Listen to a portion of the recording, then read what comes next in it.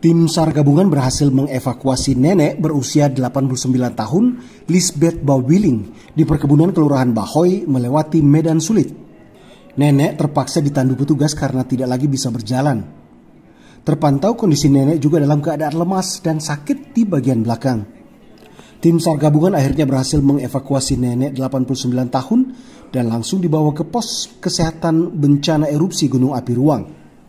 Lisbeth Bawiling diketahui tinggal bersama sejumlah masyarakat yang lari dan mengevakuasi mandiri saat erupsi Gunung Api Ruang Rabu 17 April lalu.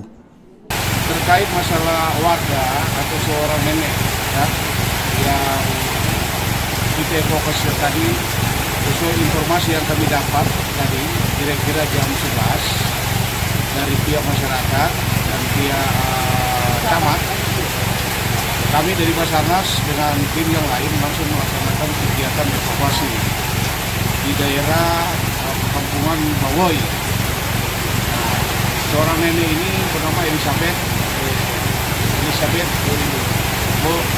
Boyling usianya 89 tahun.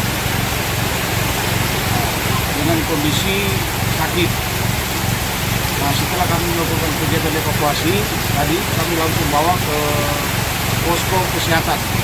Sementara itu sesuai informasi diterima, Lisbeth Bawiling, nenek berusia 89 tahun akan dibawa ke Manado pada hari Minggu untuk mendapat penanganan serius di rumah sakit di kota Manado. Jufri Kasumbala, Kompas TV, Sitaro, Sulawesi Utara.